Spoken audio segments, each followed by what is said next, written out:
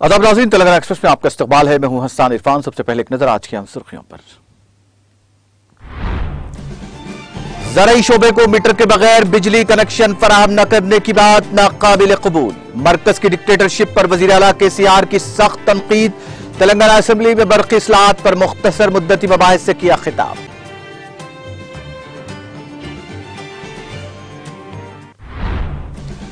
दरियाई गोदावरी की आबी सतह में बतदरीज इजाफा, पानी का बहाव, नौ लाख क्यूजिक कलेक्टर्स और एसपी को चौकस रहने, वज़ीर आला और चीफ सेक्रेटरी की हिदायत।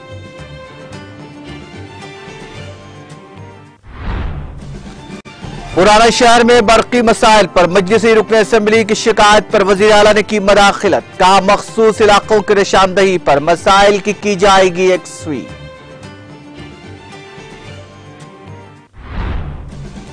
तेलंगाना में बारिश की सूरत हाल पर गहरी नज़र रखी जाए। चौकस रहने जिला कलेक्टर्स और एसपी को रियासती वज़ीर दयाकर जाओ की हिदायत। वज़ीर अला के सीआर की फराही स्कीमात पर अमलावरी की मुल्क भर में नहीं मिलती नजीर। सिकंदराबाद में आसरा पेंशन तकसीम प्रोग्राम से वज़ीर श्रीवास यादव का खिताब। श्रीसालम प्रोजेक्ट में पानी का बहाव तेज़ी के साथ जारी। हुकाम ने प्रोजेक्ट के छह दरवाजों को खोलकर पानी का किया अखराज और हुकूमत मुल्क में मज़बूत लॉजिस्टिक सिस्टम बनाने के लिए पुरज्म। फौज की तरफ़ से मुनदा पहले लॉजिस्टिक सेमिनार से मरकजी वज़ीर राजनाथ सिंह का खिताब।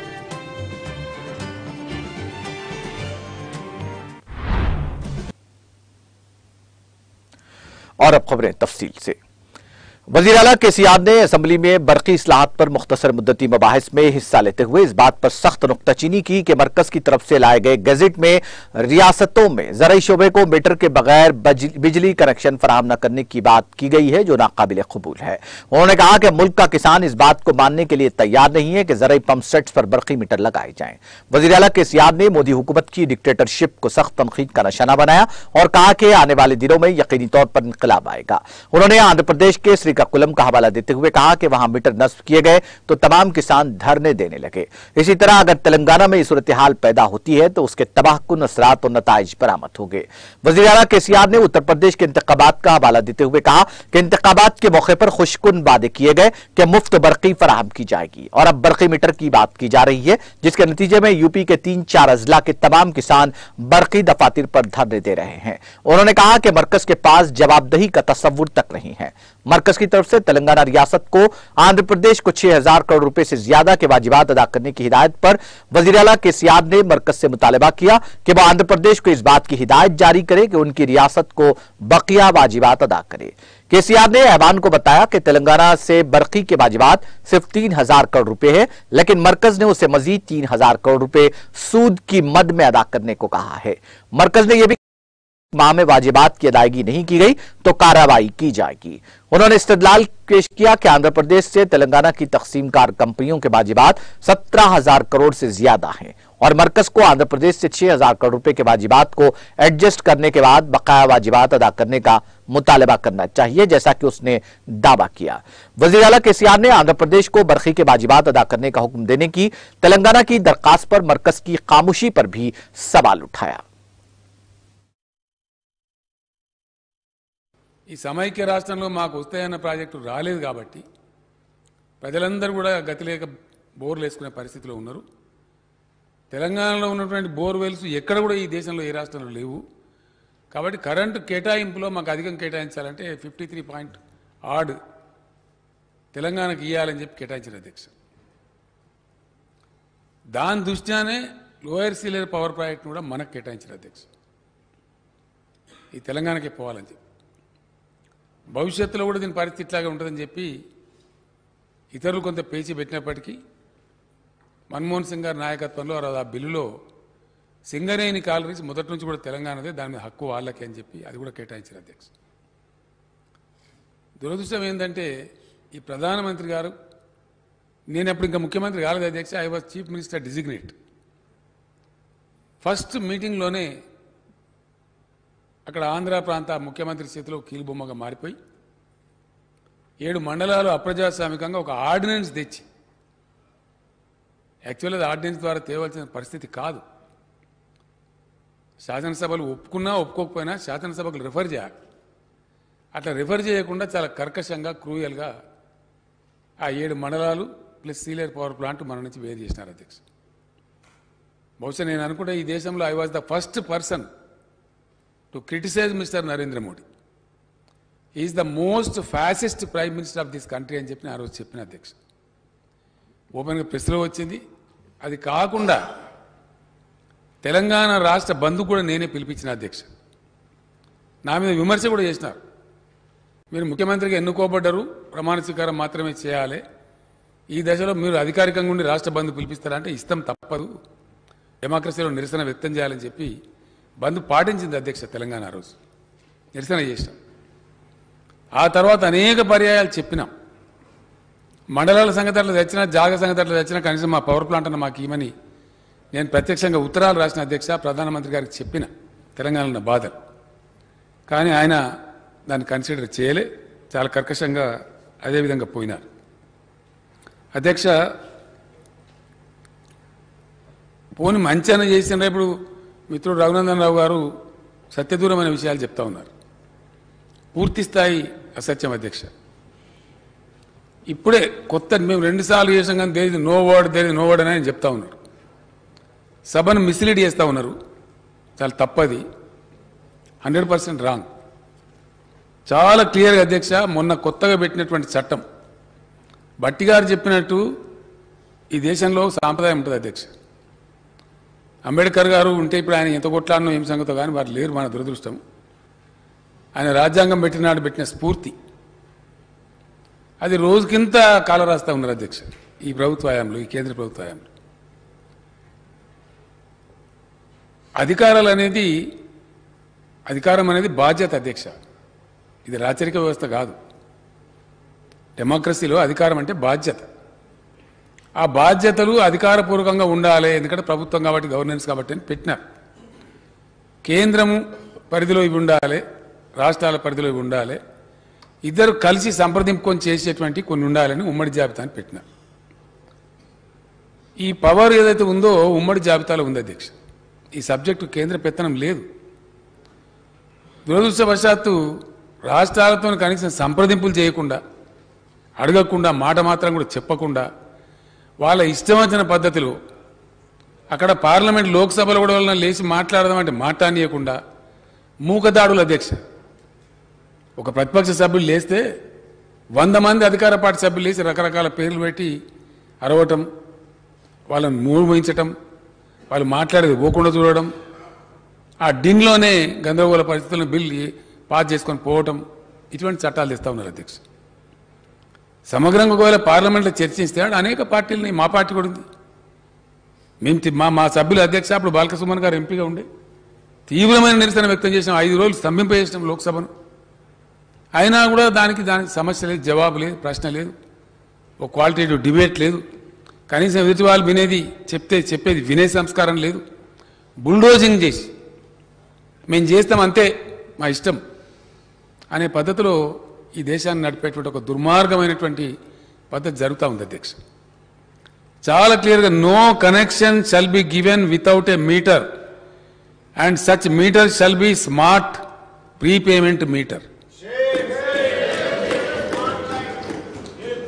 ఇది గజెట్లోనే ఉంది అధ్యక్ష. ఇప్పుడు నిన్నగాక మొన్న వచ్చింది. మా మాకు వచ్చింది అధ్యక్ష ఇది.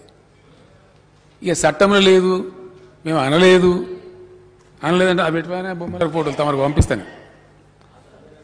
ఆంధ్రప్రదేశ్లో శ్రీకాకుళం జిల్లాలో పెడితే అక్కడ రైతులంతా తీసుకొచ్చి కుప్పపోసి ధర్నాలు చేశారు ఇది నిజమా అబద్ధమా అని చెప్పి నర్సంపేట ఎమ్మెల్యే గారు ఇంకా చాలామంది వరంగల్ నుంచి మిత్రులు పోయి ఇక్కడ ఈ ప్రమాదం తెలంగాణకు వస్తే మొత్తం సర్వనాశనం అయిద్దని ప్రాణం సరే దీన్ని ఎదుర్కోవాలని చెప్పి పోయి అక్కడ తెలుసుకుంటే వాస్తవాలు ఈ విధంగా ఉన్నాయి అధ్యక్ష. పేపర్లు తమకు పంపిస్తా ఉన్నా అధ్యక్ష. ఉత్తరప్రదేశ్ ఎన్నికలలోనేమో చాలా తీయటి తీయటి మాటలు చెప్పి ఫ్రీ కరెంట్ ఇస్తామని పోయి అక్కడ పెడితే ఆడ మూడు నాలుగు జిల్లాలలో చాలా పెద్ద ఎత్తున మీటర్లు పెడితే రైతులందరూ తీసుకొచ్చి దాని కరెంట్ ఆఫీస్ కాడ పోసి ఆ రైతు ఉద్యమ నాయకుల ఆధ్వర్యంలో చాలా పెద్ద ధర్నాలు జరిగినాయి. అధ్యక్ష ఇప్పుడు కూడా జరుగుతా ఉన్నాయి ఇంకా. గొడవలు జరుగుతావు పైకి చెప్పేది ఒకటి చెప్తూ మిత్రుడు రఘునందన్ రావు మాట్లాడుతూ మా భారతీయ జనతా పార్టీ పెట్టి మీ పార్టీ పెట్టదు కదా. కేంద్ర ప్రభుత్వం కదా పెట్టేది. మరి మీ పార్టీకున్న మీ ప్రభుత్వానికైనా మధ్య గ్యాప్ ఉందా? మీదో మీరే అపనమ్మకం ఉందా? మీరు చెప్పేది తప్ప మరి వాళ్ళు చెప్పేది తప్ప వాస్తవం ఇది. వచ్చిన గజెట్ ఇది. అంటే అగ్రికల్చర్ కనెక్షనే కాదు ఏ రకమైన కనెక్షన్ అయినా సరే భారతదేశంలో without fixing a prepaid smart meter ఇవ్వడానికి లేదు అని శాసించి దీనికి వ్యతిరేకంగా పోతే మిమ్మల్ని తొక్కి సాంపుతాం అనే పద్ధతిలో మాట్లాడుతున్నారు తెలుసు. ఇది ఒకటే కాదు ఇంకా తమాషా. ఇది ఎట్లా సమర్థిస్తారో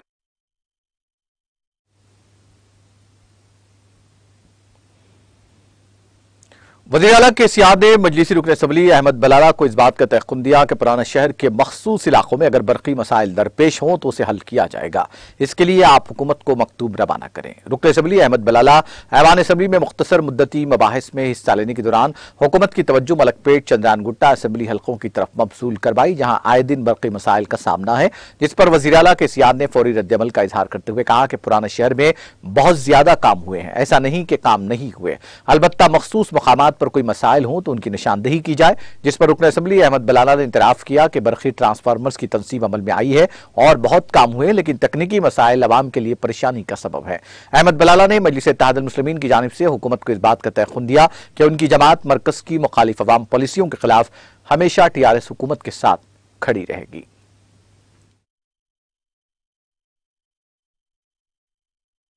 और काम होना बाकी है, लेकिन जो खदशाहत जो आवाम के और पूरी दुनिया, सबके जहनों में जो खदशाहत बिठा दिए गए थे कि तेलंगाना बनने के बाद तेलंगाना अंधेरे में चला जाएगा, तेलंगाना के अंदर पानी का प्रॉब्लम हो जाएगा, करंट का प्रॉब्लम हो जाएगा, लाइट कहाँ से लाएँगे? लेकिन आज मैं ये यहाँ पर फ़ख्र के साथ कहता हूँ कि जिस जो हालात मुतहदा रियासत में थी, पावर के ताल्लुक से आज तेलंगाना बनने के बाद, उससे काफ़ी बेहतर हालात आज हमारी पावर के ताल्लुक से तेलंगाना के अंदर है। और और मैं ये भी कहूँगा कि पावर तो हम पावर के अंदर तो गवर्नमेंट ने, हुकूमत ने काफ़ी हद तक काफ़ी काम किया है। कई सबस्टेशन बनाए गए हैं और कई चीज़, और कई ज़रूरत है। मैं आपके ज़रिए हुकूमत से ही कहूँगा कि हमारे पास के जो मसाइल है, वो मसाइल भी मैं हुकूमत के सामने रखना चाहूँगा कि बलाला साहब जो बता रहे पूरे ओल्ड शहर में ऐसा है कि करंट आ ही नहीं रहा है।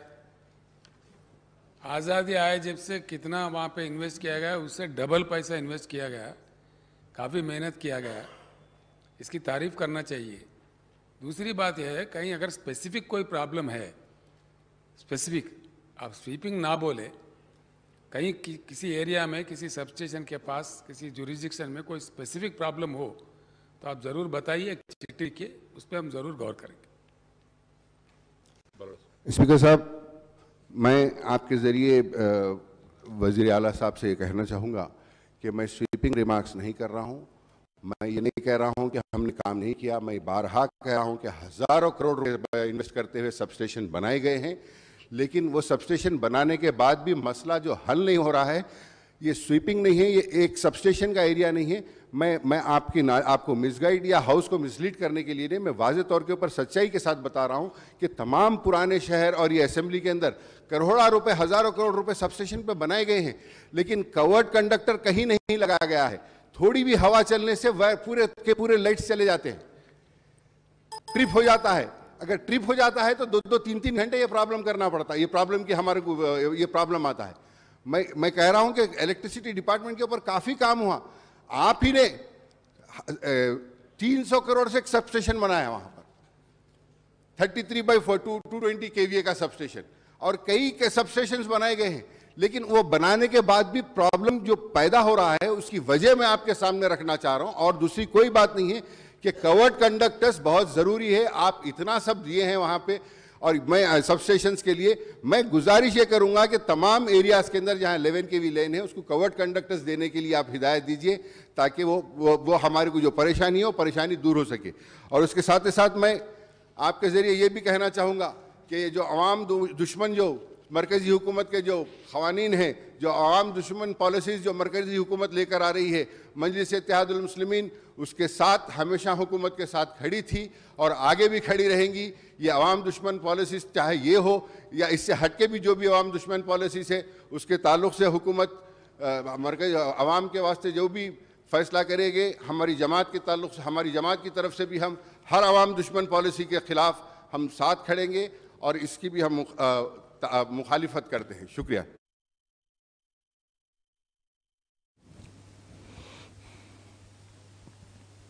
दरियाई गोदावरी की आबी सतह में बतदरीज इजाफा और नौ लाख क्यूजिक पानी के बहाव के पेश नज़र। तेलंगाना के वज़ीर अला के चंद्रशेखर राव ने चीफ सेक्रेटरी को हिदायत दी कि वो गोदावरी के आबगीर इलाकों के तमाम अजला, बशमूल कुत्तागुड़म और मुल्क के तमाम कलेक्टर्स और एसपीज को चौकस करें। बालाई आबगीर इलाकों में शदीद बारिश के सबब दरियाए गोदावरी में सैलाब की सूरत हाल पाई जाती है। वज़ीर अला ने सोमेश कुमार को हिदायत दी कि फौरी तौर पर सेक्रेटेरिएट में कंट्रोल रूम का क्याम अमल लाएँ और वक्तन फवक्तन सूरत हाल पर नज़र रखें।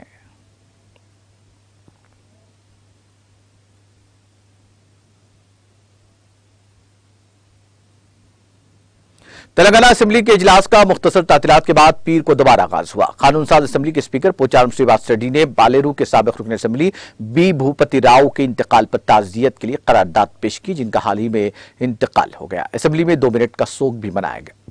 बादजाम वज़ीर अफजाइश भविष्यान तलसानी श्रीवास यादव ने जीएसटी तरमीमी बिल पेश किया। इसके अलावा वज़ीर आईटी और बल्दी नस्बनस के तरक राव ने municipal act Azamabad industrial area act जबकि वज़ीर सेहत हरीश राव ने मेडिकल एंड हेल्थ डिपार्टमेंट से मुतालिक बिल में तरमीम, वज़ीर जंगलात इंदिरा करण रेड्डी ने फॉरेस्ट यूनिवर्सिटी बिल, वज़ीर तालीम सबिता इंदिरा रेड्डी ने तेलंगाना यूनिवर्सिटी कॉमन बिल से मुतालिक बिल में तरमीम रिक्रूटमेंट बोर्ड और वज़ीर ट्रांसपोर्ट पी अजय कुमार ने तेलंगाना मोटर व्हीकल टैक्सेशन तरमीमी बिल पेश किया। स्पीकर पोचाराम श्रीवास रेड्डी ने अपोजिशन की तरफ़ से पेश की गई तहरीका इल्तबाक को मुस्तरद कर दिया। बाद में एमएलए बलका सुमन ने मरकजी हुकूमत की तरफ़ से तजवीज करदा बरकी तरमीमी बिल के नतज पर मुख्तसर बहस शुरू की। रुकन कानूनसाज काउंसिल मधुसूदन चारी ने इस मौजू पर काउंसिल में मुख्तर बहस का आगाज़ किया।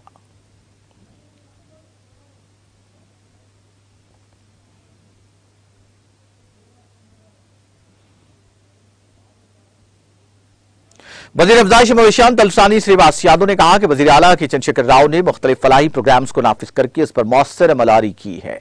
इसकी, जिसकी मुल्क भर में नजीर नहीं मिलती। रियासती वज़ीर श्रीवास यादव सिकंदराबाद में वाक़ हरिहरा कला भवन में मुनदा आसरा पेंशन कार्ड तकसीम प्रोग्राम में शिरकत के बाद इस्तीफादा कुनिंदगान को, इस्तीफादा कुनिंदगान से खिताब कर रहे थे। उन्होंने कहा कि रियासत तेलंगाना की तश्ल से कबल बरसर इकतदार हुकूमतों की जानब से मम्मर अफराद और बेवाओं को सिर्फ़ दो सौ रुपये और माजूरीन को पाँच सौ रुपये पेंशन दिया जाता था। जबकि रियासत की तश्ल के बाद वजी अला के सीआर की क्यादत में तेलंगाना हुकूमत की जानब से मम्मर अफराद और बेवाओं को दी जाने वाली माली इमदाद में इजाफा करते हुए मुआमर अफराद और बेवाओं को दो हज़ार सोलह रुपये और माजूरीन के लिए तीन हज़ार सोलह रुपये फराम किए जा रहे हैं। उन्होंने कहा कि हुकूमत ने पंद्रह अगस्त से रियासत भर में दस लाख अहल लोगों को नई पेंशन स्कीम की मंजूरी दी है। उन्होंने कहा कि हैदराबाद ज़िले के लिए सतहत्तर हज़ार छह सौ पचानवे नई पेंशन मंजूर की गई हैं। उन्होंने बताया कि हुकूमत की तरफ़ से दी जाने वाली माली इमदाद में इजाफे के बाद मुस्तकीन काफ़ी खुश हैं।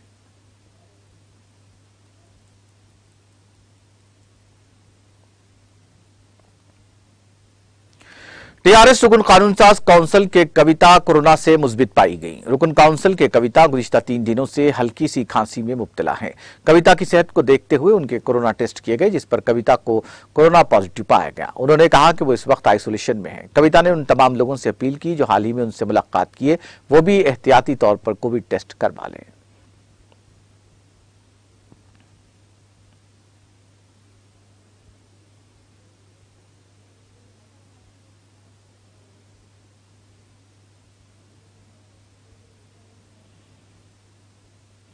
जिला निर्मल के खानापुर टाउन में गुजशत तीन दिन से हो रही मौसलाधार बारिश की वजह से राजीव नगर, जेके नगर कॉलोनीज में जंगल में से आने वाले बारिश के पानी को रोकने का मुस्तकिल हल निकालने के लिए खानापुर म्यूनसिपल चेयरमैन इनकम राजेंद्र ने महकमा जंगलात के अहदेदारों के साथ जंगल में 10 किलोमीटर पैदल चलकर बारिश की वजह से टूटने वाले नदी नालों और चेक डैमों की जाँच की। मुकामी councillor, municipal floor leader Rajura Satyam municipal commissioner Ratnakar Rao ने इस मौके पर कहा कि वह जंगलात के एहलकारों के साथ पैदल चलकर टूटी हुई नदियों को जंगलात को दिखाएँ। इस प्रोग्राम में FRO Vinay Kumar, forest municipal officer और दीगर ने शिरकत की।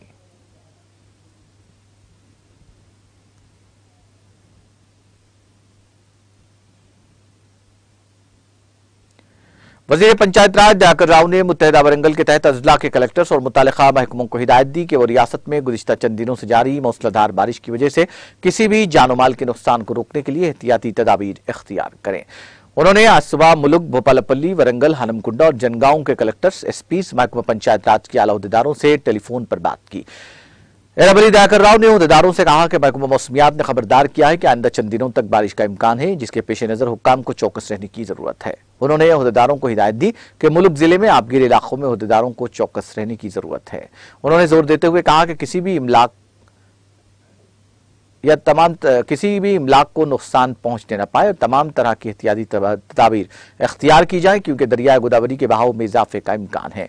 गुजशत साल शहर वरंगल में शदीद बारिश की वजह से काफ़ी नुकसान हुए थे। उन्होंने कलेक्टर कलेक्ट्रेट और वरंगल सिटी एडमिनिस्ट्रेशन ऑफ़िस में टोल फ्री नंबर कायम करने की भी दरखास्त की, ताकि वक्ता फवक्तन सैलाब से होने वाले नुकसान का पता चल सके और उसके तदारुक के इकदाम किए जा सकें।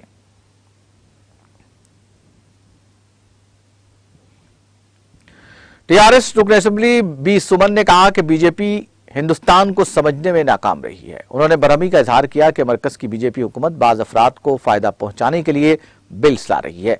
उन्होंने मरकजी बरकी तरमीमी बिल के नतज पर कानून साज असम्बली में मुख्तर मबाहस शुरू किए। उन्होंने कहा कि मुतहदा रियासत आंध्र प्रदेश में सूरत हाल ये पाई जाती है कि न जाने कब बिजली न जाने बिजली कब आएगी और कब जाएगी।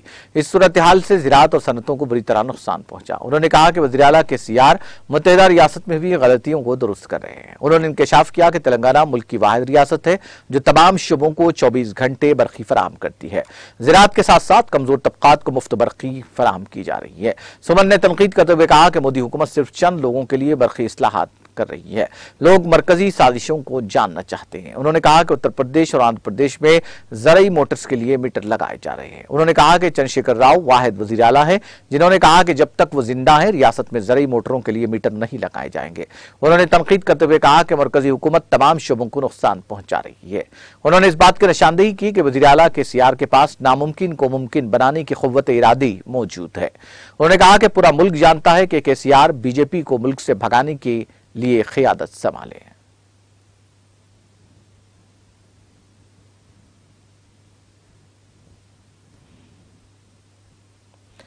तेलंगाना आंध्र प्रदेश के मुश्तरका श्रीसैलम प्रोजेक्ट में पानी का बहाव तेज़ी के साथ जारी है, जिसके बाद हुक्काम ने प्रोजेक्ट के छह दरवाजों को दस फीट तक उठाकर पानी को जेरी इलाकों में छोड़ा।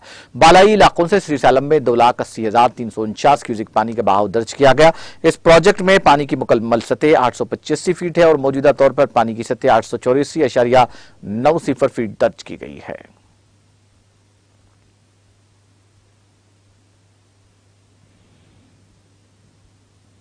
तेलंगाना के भद्राचलम के करीब दरिया गोदावरी की सतह में इजाफा हो गया। वक्फे वक्फे से बारिश के सबब उसकी सतह में इजाफा हुआ है। इसकी सतह पीर की सुबह आठ बजे उनचालीस अशरिया पाँच सिफर फीट तक पहुँच गई। दरिया में सात लाख इक्कीस हज़ार छह सौ चौदह क्यूजिक पानी का बहाव दर्ज किया गया। मरकजी आबी वसाइल कमीशन के अहदेदारों ने कहा कि सैलाब का बहाव चंद घंटों में पहले खतरे की वार्निंग की सतह तक पहुँच सकता है। गोदावरी में एक बार जुलाई के महीने में और एक बार इस साल अगस्त के महीने में सैलाब आया था। दरियासना गोदावरी में सैलाब का बहाव नौ लाख क्यूजिक तक पहुँचने के पेश नज़र अलर्ट कर दिया गया है।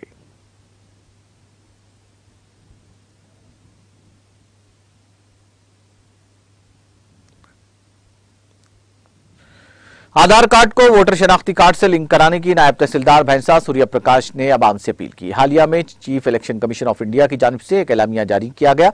जिला कलेक्टर निर्मल मुशरफ अली फारूकी की हिदायत पर भैंसा मंडल और शहर भैंसा की आवाम से नायब तहसीलदार सूर्य प्रकाश ने अपील की कि वो अपने करीबी पोलिंग बूथ के बूथ लेवल ऑफिसर से रुजू होते हुए आधार कार्ड को वोटर शनाख्ती कार्ड से लिंक करवाएँ, ताकि पुराने वोटर शनाख्ती कार्डों की गलतियों को दुरुस्त कर सके।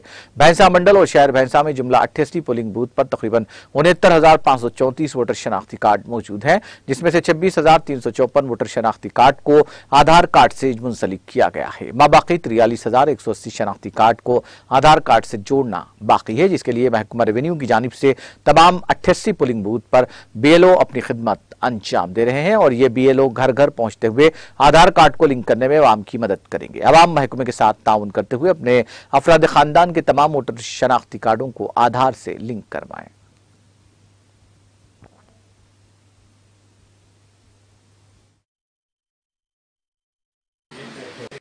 మండలంలోని అందరు ఓటర్లకు తెలియజేయనదేమనగా బైంస మండల పట్టణం మరియు గ్రామంలో అరవై తొమ్మిది వేల ఐదు వందల ముప్పై నాలుగు ఓటర్లు కలరు ఇప్పటి వరకు సిక్స్ బి క్లెయిమ్స్ ఇచ్చిన వారు ఇరవై ఆరు వేల మూడు వందల యాభై నాలుగు ఉన్నారు మిగిలిన నలభై మూడు వేల ఒక వందల ఎనభై మంది తమ తమ ఆధార్ కార్డుని సంబంధిత బిఎల్ఓలకి ఇచ్చి ఈఆర్ఓ నెట్లో ఓటర్ కార్డుకి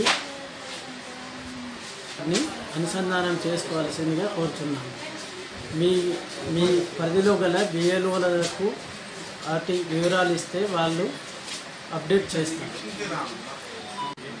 బైంస మండలంలోని అందరు ఓటర్లకు తెలియజేయనదేమనగా బైంస మండల పట్టణం మరియు గ్రామంలో అరవై తొమ్మిది వేల ఐదు వందల ముప్పై నాలుగు ఓటర్లు కలరు.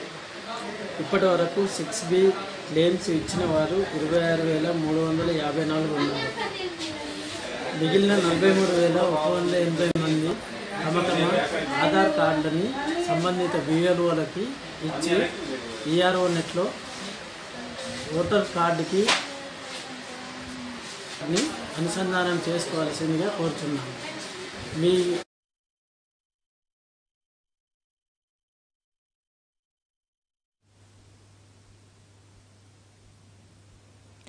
मेडचल ज़िले के मलकाजगिरी में पेश आए खौफनाक सड़क हादसे में तीन अफराद बरसर मौका हलाक हो गए यह हादसा ज़िले के मुजाफती इलाके में पीर की सुबह उस वक्त पेश आया, जब मोटरसाइकिल चलाने वाले ने उसका तबाजुन खो दिया और यह मोटरसाइकिल लारी से टकरा गई। महलुकीन में खातून भी शामिल है। महलुकीन की शनाख्त नहीं हो सकी। उनकी उम्र तीस चालीस बरस के दरमियान है। मुकामी अफराद ने बताया कि मोटरसाइकिल सवार गाड़ी को तेज रफ्तारी के साथ चला रहा था और उसने सामने वाली लारी को ओवरटेक करने की कोशिश की, जिसके नतीजे में बाइक लारी से टकरा गई और ये अफराद लारी के पहिए के नीचे आ गए। इस हादसे के सबब मसरूफ शाहरा पर ट्रैफ़िक जाम हो गई। पुलिस ने इस सिलसिले में एक मामला दर्ज करके तहकत शुरू कर दी।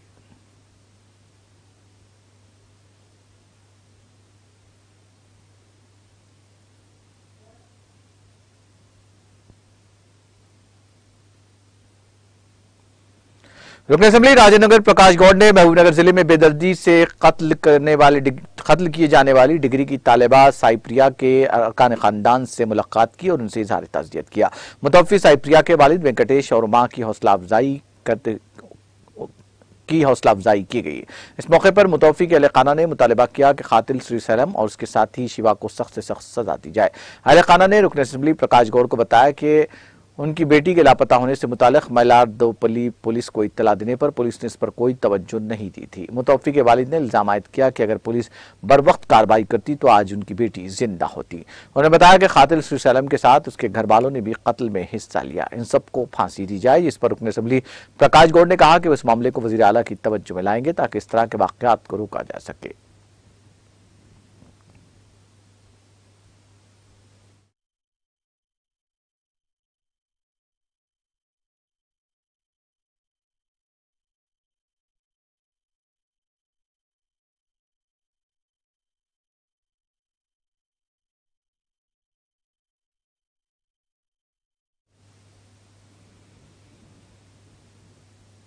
तेलंगाना एक्सप्रेस में वक्त ब्रेक का ब्रेक के बाद भी खबरों का सिलसिला जारी रहेगा।